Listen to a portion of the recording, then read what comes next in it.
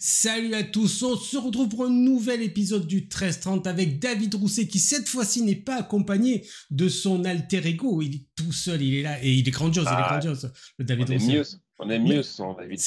J'ai envie de dire qu'il y a un peu plus de place.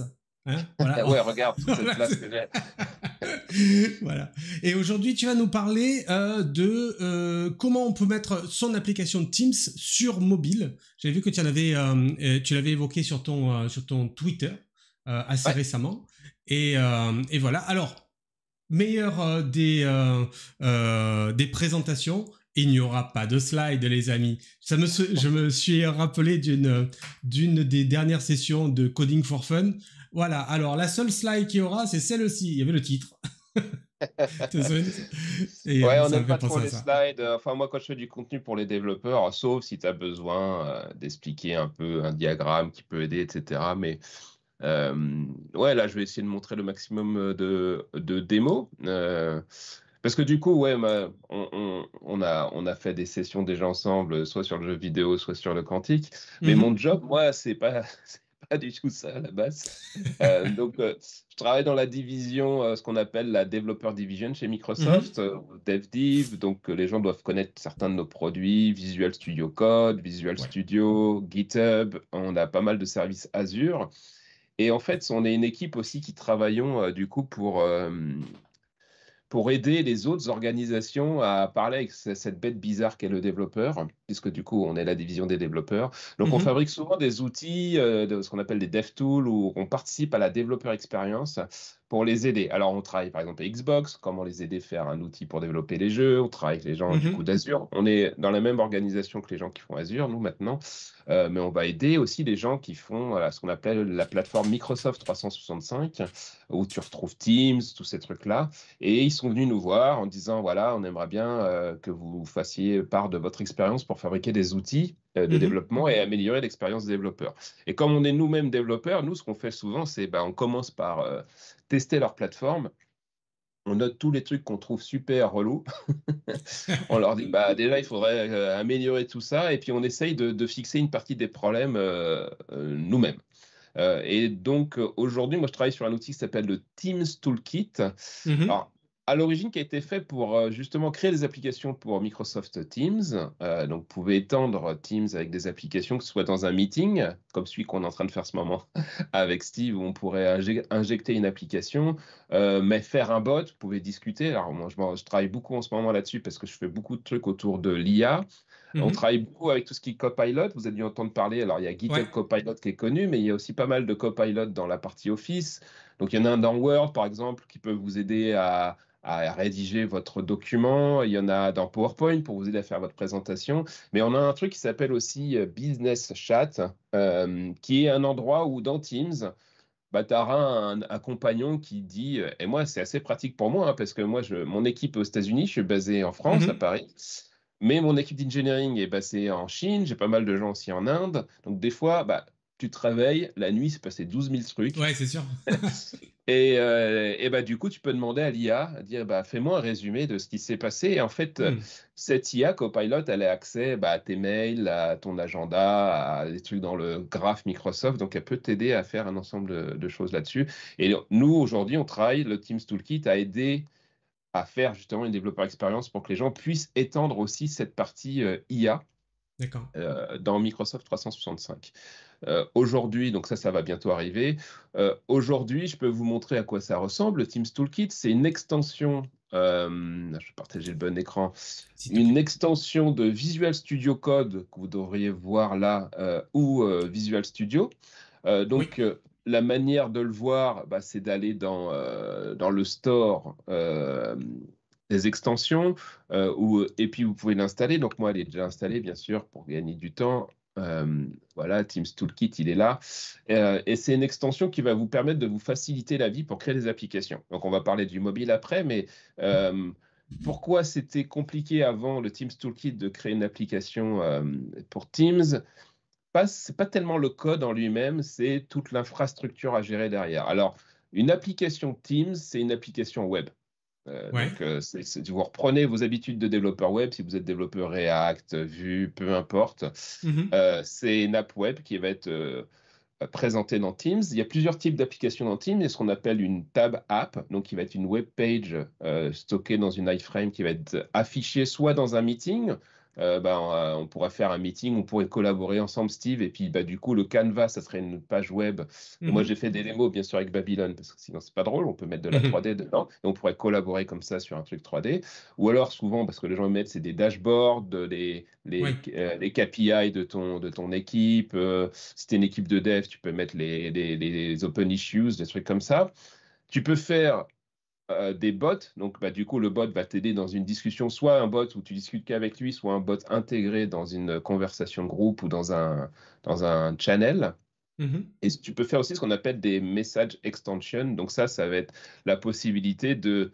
Euh, imaginons que tu as Jira ou GitHub et que tu veux aller chercher euh, une issue, bah, tu vas utiliser cette, cette, extension et puis tu vas taper le mot-clé pour ton issue en particulier et puis il va te renvoyer ce qu'on appelle une adaptive card. Alors, pour ceux qui ne savent mhm. pas ce que c'est, c'est un format enrichi, on, va dire, euh, visuel, où dedans tu peux avoir des actions. Donc, typiquement, quand tu partages cette carte par mail, euh, dans Teams, euh, dans nos différents endroits, bah, les gens, ils ont une expérience un peu plus enrichie que juste que du texte ou une image, et ils peuvent aller directement cliquer sur des boutons. Donc, il y a plusieurs façons de d'étendre Teams. Euh, et une fois que vous avez installé l'extension euh, dans Visual Studio Code, bah, il est, elle est présente ici. Vous pouvez créer un nouveau type d'application. Et on revoit à peu près ce que je vous ai dit, le bot, le tab, le message extension. On a aussi intégré maintenant les add-ins parce que euh, moi, j'ai fait des add-ins quand j'étais jeune parce que mmh je suis vieux maintenant. Et je ne sais pas si vous vous souvenez, les add-ins, c'était du COM pour les plus vieux. Euh, maintenant, c'est du JavaScript. Donc, euh, on l'a intégré dedans aussi pour qu'en gros, on vous crée des templates, comme dans Visual Studio, on crée des templates, le code minimum pour démarrer. Et aussi, quand on va faire F5, on va s'occuper de déployer euh, plein de choses pour vous parce que euh, Teams, bien sûr, euh, c'est quelque chose qui tourne euh, bah, sur une infrastructure publique, sur un cloud. Donc, il va falloir référencer des choses et faire ce qu'on appelle du sideloading. donc, nous, on, utilise des API pour faire ça pour vous. On va packager un ensemble de choses pour vous et je vais vous présenter à quoi ça ressemble. Donc là, on voit que si jamais vous faites du développement mobile, un bot, bah, principalement, c'est du back-end, hein, parce que c'est, il tourne back-end côté client, vous allez envoyer du texte de temps en temps à ce mhm. bot. Donc, il n'y a pas grand-chose à faire en termes de debugging quand vous êtes développeur. Hein. Le, ça va marcher de la même façon sur un mobile ou sur, euh, sur un desktop. Pareil pour euh, ce qu'on appelle le message extension. C'est la possibilité d'avoir cette, euh, cette cette, fenêtre de composition, vous pouvez taper et puis ça va vous retourner une adaptive card. Le tab, lui, c'est différent puisque euh, lui va pouvoir du coup s'afficher dans différentes surfaces, dans Teams, dans Outlook. Euh, et là, je vois qu'on a fait une faute. Faut qu'on corrige Microsoft. Euh, et dans Microsoft 365. Donc, et donc, lui, c'est vraiment une app web pure. Donc, on, hmm. va, on va faire ça ensemble. On a plusieurs templates qu'on vous propose alors ça, moi, j'ai insisté parce que c'est tout le monde veut faire du React maintenant, mais moi, j'ai voulu absolument qu'on ait du vanilla, comme on dit. Donc, vous mmh partez de zéro, on vous propose le minimum. Alors bien sûr, comme beaucoup de devs quand même font du React, on leur donne du React avec ce qu'on appelle notre langage de design. Hein, c'est Material Design, euh, Google Material euh, chez Google, et nous, s'appelle Fluent, notre langage de design. Donc, on vous donne des contrôles qui vous donnent le look and feel de nos apps. Euh, le dashboard, parce qu'on s'est aperçu qu'on avait beaucoup de gens qui voulaient faire du dashboard, et si vous êtes développeur SharePoint, on a un truc pour vous. Donc, nous, on va faire un dashboard. On va prendre JavaScript, il lui faut un petit nom, donc je vais l'appeler Steve Dashboard. Très bonne idée, ça. Voilà un bon nom. Et donc, il vous crée une nouvelle instance. Donc, je peux euh, fermer celle-là. Et puis, il vous donne, euh, il vous ouvre euh, le README pour vous expliquer un petit peu bah, comment, comment démarrer, comment s'y prendre. Donc, ça, c'est l'expérience VS Code. Bien sûr, si vous êtes développeur Visual Studio, on a la même chose dans Visual Studio. Donc, vous cherchez le mot-clé Teams. Si vous êtes développeur .NET, Next, vous lui donnez un petit nom, et là, on va retrouver euh, le même genre de choix. Qu'est-ce que vous voulez faire euh. Donc, on n'a pas exactement le, même look and feel, euh, parce que la façon de s'intégrer dans Visual Studio est différente dans, de, que VS Code. Et mhm. voilà, si vous êtes développeur .NET, vous pouvez aussi vous retrouver sur Visual Studio. Et au final, bon, bah, quand vous faites le code qui va tourner côté client, hein, que vous soyez développeur .NET ou pas, à moins que vous utilisez Blazor, remarque, mais souvent, vous allez utiliser aussi du, React hein, dans les deux cas. Donc, ça va être plutôt sur ce que vous aimez à faire côté backend. Donc, une fois qu'on a terminé, il y a pas mal de choses qui sont faites pour vous. c'est que déjà, une application Teams, c'est un manifeste qui va être packagé sous la forme d'un zip, envoyé dans Teams. Donc tout ça, c'est le truc que vous pourriez faire à la main, écrire ce JSON, remplir les propriétés. Ensuite, il faut lui donner des icônes, le packager dans un fichier zip, le charger dans votre euh, tenant euh, Microsoft 365 Bref, tout ça, nous, on essaye de l'automatiser pour vous. Donc là, on voit que j'ai un tenant de dev. Alors, vous pouvez vous mhm. en créer un, c'est gratuit. Si vous n'en avez pas un, le toolkit, il va vous rediriger vers le portail en disant créez votre dev tenant. Et c'est pas mal parce qu'on provisionne pas mal de fausses données euh, qui ressemblent à, des équipes pour que vous puissiez tester. Si jamais vous avez une subscription Azure, vous pouvez l'intégrer, puisque là, je vais tout faire localement, mais bien sûr, après, il faut déployer ça sur un, euh, une infrastructure de prod. Donc nous, on intègre Azure, vous n'êtes pas obligé de l'utiliser, mais si vous, si vous avez une subscription Azure, on facilite le déploiement dans Azure, mais là, mhm. on n'en aura pas besoin. Euh, et ensuite, je vais faire F5, et puis je vais continuer de parler, ça va prendre un peu de temps, parce que là, dans ce cas-là, il va faire pas mal d'actions qui sont euh, décrites dans ce fichier YAML. Mhm. Donc, on, explique un peu tout ce qu'on va faire. C'est qu'en gros, bah, là, il va devoir créer l'application parce qu'il faut une ID. Donc, il va devoir contacter les API de sideloading. Euh, il va, une fois qu'il aura récupéré cette API, bah, il va l'inscrire, cette app ID, il va l'inscrire dans le manifeste. Mhm. Euh, il va voir qu'on a aussi une application qui tourne euh, sur le localhost, donc il va aussi l'enregistrer dans le manifeste. Il va valider que tout est bon. Si jamais vous aviez modifié vous-même à la main le manifeste, vous n'avez pas fait d'erreur dans le manifeste. Il va ensuite valider que le package qu'il a créé, il est bon il va contacter les API euh, à la fois de Teams et de Microsoft 365 pour, pour déployer tout ça. Bref, vous voyez que ça, c'est des trucs que vous auriez dû faire à la main. Ouais. Et ben moi, je fais F5 et je peux te parler avec toi pendant ce temps-là. Euh, et donc, le, pour qu'il le fasse, la première fois, ça peut prendre du temps parce que le template que j'ai pris, là, il utilise euh, donc du React. Donc, bah, il y a tout le MPN install où j'aspire Internet euh, malgré la fibre. Euh, ça prend toujours un peu de temps. Hmm. Donc, il est en train d'installer tous les packages et puis ensuite, il va faire euh, tout ce qui est nécessaire. Donc, on voit que ça avance. Vous pouvez suivre bah, ce qu'il fait au fur et à mesure. Là, il y a plusieurs, il y a pas plusieurs terminaux pour l'instant parce qu'il n'a toujours pas terminé. Mais on verra après qu'il peut avoir plusieurs terminaux pour, pour suivre un peu les différentes choses qu'il fait. Donc là, il est en train de lancer mon application. On y est presque. Ça lance, ça On est déjà à 3 sur 3, là, on s'approche. Tu vois euh, et, euh, c'est intéressant de voir que ce langage YAML qui a, qui a, été euh, dire, créé il y a quelques années, bah, il perdure et il est toujours utilisé. J'avais un peu peur quand, quand je l'ai vu arriver. Je me suis dit encore un nouveau, nouveau truc de, déclaratif et finalement, il est toujours utilisé, notamment pour ce genre d'outils. c'est vraiment sympa. Ouais, moi, quand je suis arrivé dans l'équipe, en fait, c'était une boîte noire complète. Ce qu'on voulait vraiment, notre cible, c'était des gens dans les entreprises qui voulaient pas se prendre la tête euh, et qui voulaient vite faire des apps pour Teams. Il y a beaucoup de demandes dans les entreprises, tu vois, de gens qui disent Ah, c'est dommage qu'on puisse pas s'intégrer dans Teams, qu'on a plein d'utilisateurs qui sont dedans, euh, plutôt que de les renvoyer vers autre chose. Mais ils voulaient pas euh, comprendre toute la complexité de la plateforme, donc ils voulaient les trucs clés en main. Et on s'était dit Bon, bah, on va, on va leur masquer toute la complexité. Mmh Le problème, c'est quand ça marche pas, parce que ça peut ne pas marcher. Euh, et que tu es quand même un peu dev et que tu as un peu de compétences techniques, bah, tu es complètement paumé parce qu'on on n'expliquait pas. Enfin, il y avait la doc, mais c'était pas très clair ce qu'on faisait. Hmm. Donc là, on a vraiment exposé avec ce format YAML où tu peux du coup bah, injecter tes propres actions aussi si tu, le, si tu veux faire bah des, des, validations supplémentaires. Donc, tu es libre à toi de le faire. Il m'a ouvert la fenêtre dans un autre moniteur. Le voilà. Donc là, carrément. Donc là, il est en train de charger euh, Teams la web app. Donc, vous voyez, il, le fait pour vous avec les bons credentials. Et là, on voit que j'ai mon app. Donc, ça, j'aurais pu le faire à la main, euh, charger le zip moi-même. Je hmm. vais l'ajouter.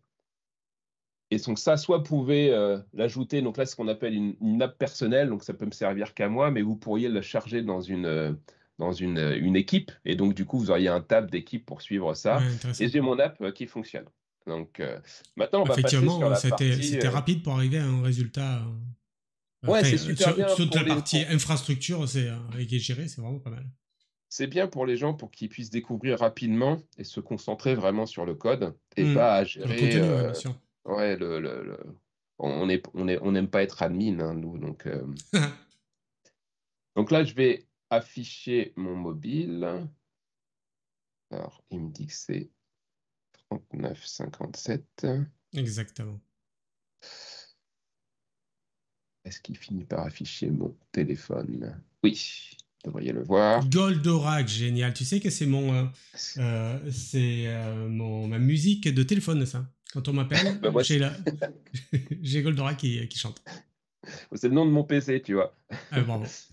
Donc, on voit tous les tests que j'ai fait avant avec euh, des IA là. Euh, et là, du coup, vous retrouvez des applications ici. Euh, et donc, est-ce qu'il y a Steve quelque chose? Et non, mais des fois, il n'y a pas. Justement, ça fait partie des problèmes. Donc, déjà, l'application, elle est, elle est pas visible. Donc, je vais relancer Teams. Des fois, ça suffit. Mhm. On est sur du suspense. Ouais. On va attendre un peu. Ouais, ouais, tranquille. Et après, vous, je vais vous expliquer. euh, Attends, je vais dégager tous mes trucs là. Bordel. Tchou, tchou, tchou, tchou.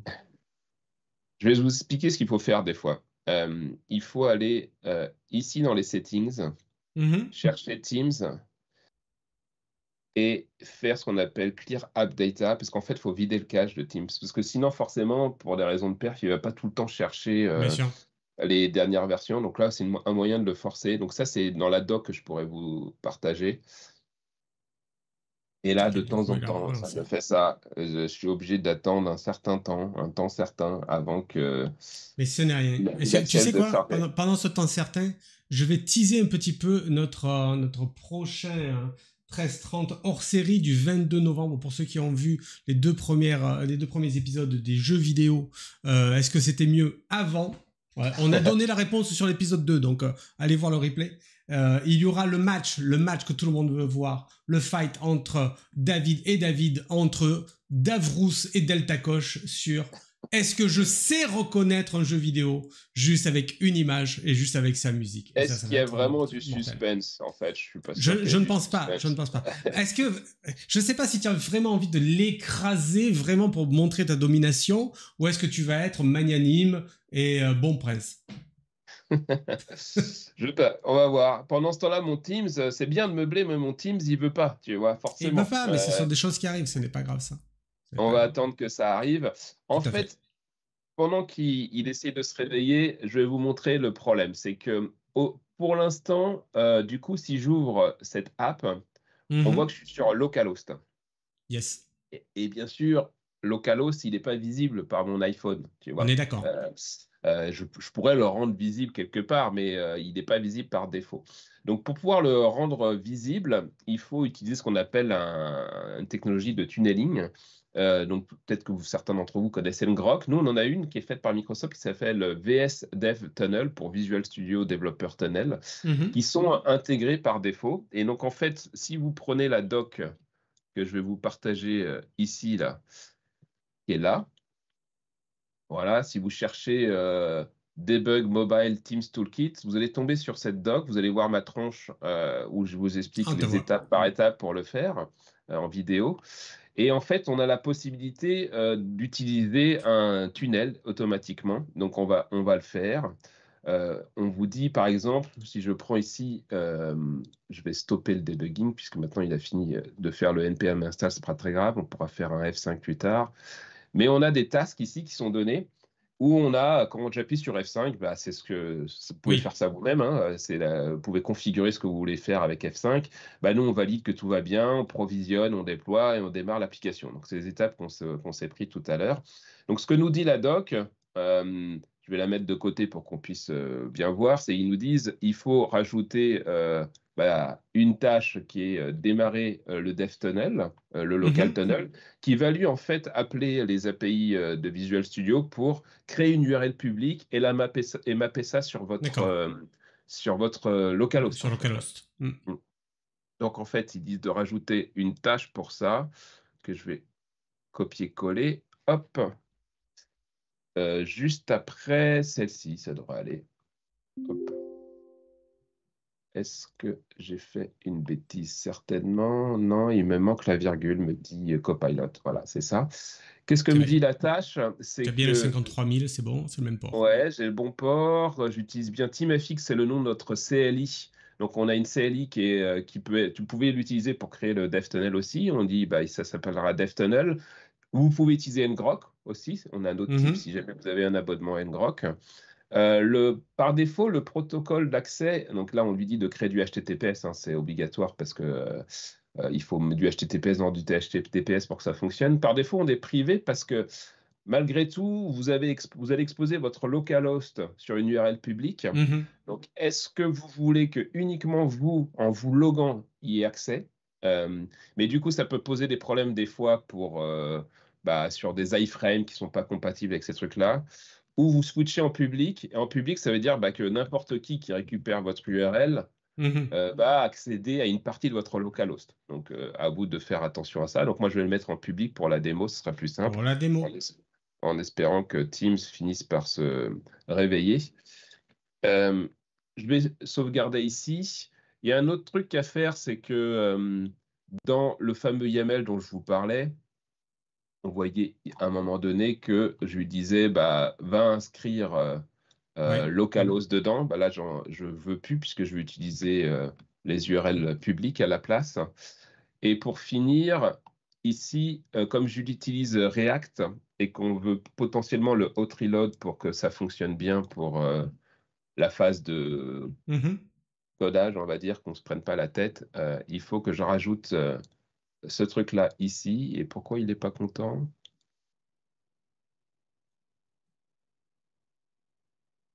Voilà. Pour, pouvoir accéder à WebSocket pour faire le, hot reload. Euh, donc une fois qu'on a fait ça, moi souvent ce que je fais, c'est que le manifeste, je change la version pour être sûr que on passe sur une version différente euh, pour éviter des problèmes de cache en fait. Hein. Exactement. Ça, il est sûr de le recharger. Donc là, on va faire F5.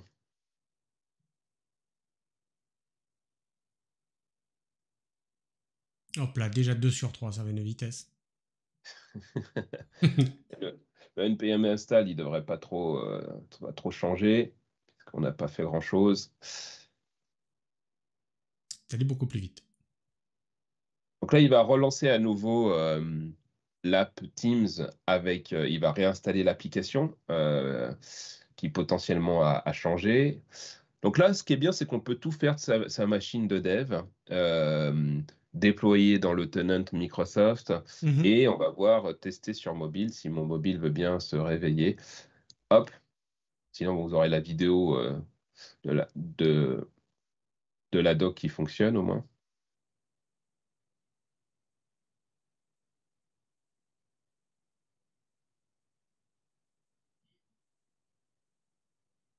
Ça réfléchit. Ouais. Les dieux de la démo sont pas avec moi. Ah bah super. Fichtre. Ça faisait longtemps que ça m'était pas arrivé en plus. Hein. Euh, pourtant, il est. Ah, qu'est-ce que c'est que cette erreur? C'est que. Euh, qu'est-ce qu'il me dit? Il est déjà. En... Ouais, parce que bon. Il est déjà en utilisation. Parce que si, si je relance trop tôt, le port n'est pas encore release. Je comprends. Ah, tu retentes Ouais, je retente. une, seconde tentative. Bah, bien sûr. je vois pas pourquoi ça ne marcherait pas. Je suis tout à fait d'accord avec ça, cette allégation. Et donc, euh, là, je suis assez confiant parce que je sens que les planètes sont alignées, tu vois. Euh, il me recharge mon Teams et normalement, j'ai la fenêtre de, de, loading de mon app. Voilà, elle est là. Et voilà. Je charge. Donc, pour l'instant, tout ce que j'ai fait, c'est que ça devrait être la même app.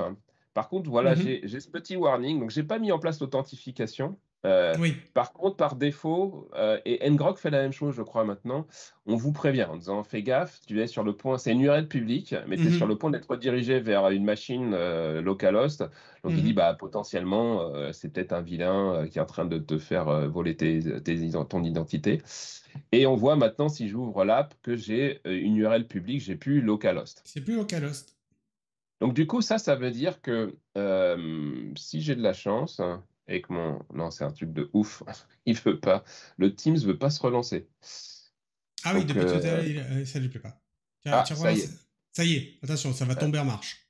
Ah, ça va tomber en marche. Alors, est-ce que est-ce qu'il voit bien ton app, Steve? En espérant qu'il a chargé la bonne, sauf qu'il n'a pas pris la bonne. Voilà. Donc ça, c'est le problème de ah, cache. Il a dû prendre la, il a dû prendre la précédente. Voilà. Donc, ce qu'on peut faire, bah, c'est retenter et, et, prier que ça marche bien. Donc, j'arrive ici, je dis Teams. Alors ça, c'est le problème, hein, quand tu veux faire des démos publiques et que tu n'as pas de slide, bah, il faut... écoute, tu sais, ça fait partie du process. Je veux dire, ce que tu es en train de, vivre là, la plupart des gens qui vont avoir envie de euh, d'utiliser euh, leur application Teams sur mobile, eh ben, ils auront, certains auront le même problème. Donc, ils sont heureux ah de voir que ça arrive à tout le monde et euh, qu'il y a des moyens de les résoudre. faut être patient. Euh, et là, on voit que j'ai la bonne version parce que j'ai à nouveau le warning sur mon mobile, donc je fais continue. Et là, maintenant, j'ai la même app qui tourne euh, sur mon desktop euh, hmm. et dans Teams mobile. Et donc, c'est pareil, ça marche de la même manière sur Android, bien sûr. Donc, du coup, bah, ça vous donne une première façon de, tester et débugger sur mobile. Et comme j'ai configuré le Hot Reload, donc on voit c'est des lorem Ipson. Mhm. Euh, je vais aller modifier le code quelque part euh, où voilà, c'est ces trucs-là. Donc on va l'appeler euh, Steve Ipson. C'est mon deuxième sauvegarde. il devrait générer un reload et homme, tu vois que ça a été modifié ici. donc vous ah pouvez commencer à faire du. Voilà, c'est du hot reload, ça va assez vite. Donc bah, React recompile, voit les, les modifications et repart.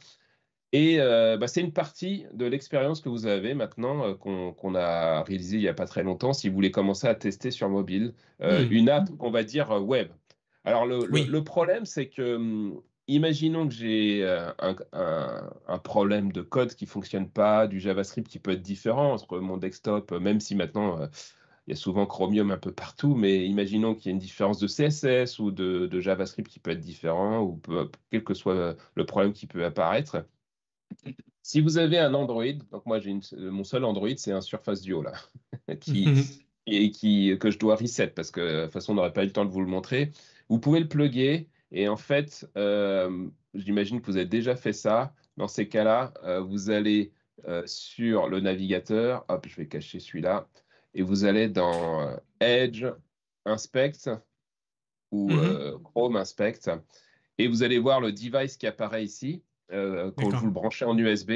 Et vous allez pouvoir faire du remote debug. Donc, vous allez pouvoir avoir la console, modifier, euh, faire du pas à pas dans le JavaScript, etc. Vous pouvez même le faire depuis VS Code si vous cherchez un peu de la manière de, le faire.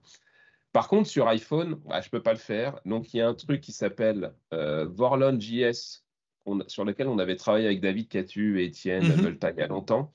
Euh, et on l'a mis à jour il n'y a pas longtemps et on voit une démo, en fait, où euh, bah, c'est moi qui fais tourner euh, une, la même, une des mêmes applications sur euh, iOS, Android. Et en fait, la manière dont ça fonctionne, on utilise WebSocket pour ingérer, injecter en fait une espèce de remote debugging simplifié. Où vous pouvez avoir accès au DOM et voir juste la console. Des fois, c'est pratique de juste voir la console remote et de voir mm-hmm. le nom de l'erreur sur votre iPhone. donc ça, bah, euh, vous pouvez l'utiliser et l'injecter dans une application Teams. C'est une application web, parce que ça, c'est fait pour débugger des applications web. Et je me suis amusé à faire le cacou pour montrer la même app qui tournait sur euh, Tesla. Euh, et là, on peut le voir, là, si je le, fais rapidement. Vous allez voir que l'app, donc c'est la même app que je vous ai montré. et je peux la débugger à distance sur mon, sur mon vous voyez, c'est le, browser de ma hmm. Tesla. Et je peux modifier des trucs à, à, distance. Là, j'ai modifié Your List voilà ce que je voulais vous montrer. Là, on, on arrive au bout. Euh, si ça vous intéresse qu'on passe plus de temps sur l'expérience de debug, euh, dites-moi, on pourra faire une V2 parce qu'il y avait beaucoup de contenu et en 30 minutes, je savais qu'on pouvait pas tout montrer. oui, bien sûr, on va, voir ça. non, des, petits soucis techniques, mais ça vous permet de voir que bah, c'est possible de. Exactement. Et, puis, écoute, les soucis sont arrivés, mais pourtant, à à la fin, on a un résultat. Ça veut dire, on arrive à régler les soucis, ça qui est intéressant. Moi, je trouve que c'est encore mieux. C'est plus drôle que de voir des slides, je trouve. large, large. Mais euh, c'est vrai que le cheminement d'arriver, tiens, on a un problème et finalement, paf, on, le résout, c'est beaucoup plus, euh, comment dire, ça ressemble beaucoup plus à la vraie vie que hey, ça y est, regardez, de là à là, c'est comme une, euh, un film que tu aurais à regarder. Oui, d'accord, bon, ben ça, ça a été enregistré Non, non, non. Là, c'est du live, c'est du vrai, c'est ça qu'on aime. J'ai mis, sur le, euh, sur le chat le, le lien de euh. Comme ça, vous verrez les, les, les, deux démos de les petites vidéos YouTube qu'on a, qu'on a évoquées ensemble. Donc, n'hésitez pas à aller les voir. Euh, merci beaucoup, euh, David. Attends, tu m'envoies un truc. Je suis en train de voir que tu m'envoies quelque chose. Ouais, c'est la doc. Si vous voulez refaire ce que j'ai fait à la maison, bah, c'est la doc. Euh, pareil, on peut le mettre dans le chat. Je pourrais le mettre. ça y est. Ça y est, c'est fait. fait. Et donc, bah, avec la vidéo en étape par étape qui vous montre ce qu'il faut faire. Donc, puis n'hésitez pas à me contacter hein, si, si, vous avez des soucis. Exactement. Vous, vous pouvez contacter David sur Twitter, Davrous sur Twitter, je vais vous donner le lien également, parce que je suis comme ça, moi. Hop, et ça arrive. N'hésitez pas. Moi, c'est comme ça que je vois cette information de, David Rousset. Un jour, j'ai vu sur Twitter qu'il a dit Hey, regardez, je fais ça, mon application de Team sur mobile, on a fait, euh, on a fait ça pour aider les développeurs. Je fais Hey, mais euh, il faut venir voir ça dans 1330. Et voilà. bah, merci beaucoup pour l'invitation. J'espère que. Ouais, oui, on, fera certainement une, euh, une, session 2. Merci à tous, les amis. Je vous dis à bientôt. Merci beaucoup, euh, David. Avec plaisir. À bientôt. bye. Salut. Allez, faut que tu cours.